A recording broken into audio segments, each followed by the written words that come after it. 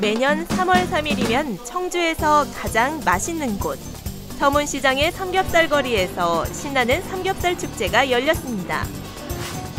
3월 3일은 양돈 농가를 살리기 위해 축협에서 정한 삼겹살 데이인데요. 2012년부터 바로 이곳 국내 유일의 삼겹살 거리가 있는 청주 서문시장에서 삼겹살 축제를 열고 있습니다.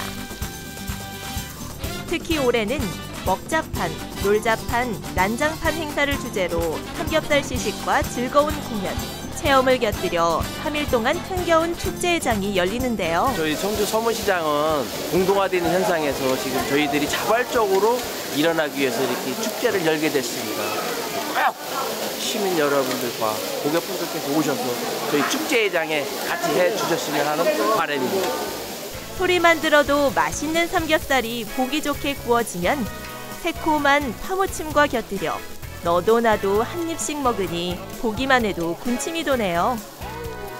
축제 기간 동안 할인된 가격으로 삼겹살을 구입할 수 있고 마음껏 맛볼 수 있으니 손님도 상인도 신이 납니다. 삼겹살 드시러 서문시장으로 오세요. 남은 주말 동안에는 시민들이 참여할 수 있는 다채로운 행사도 열릴 예정인데요. 맛있는 삼겹살과 함께 즐거운 시간 보내시고 청주 삼겹살도 많이 사랑해 주세요.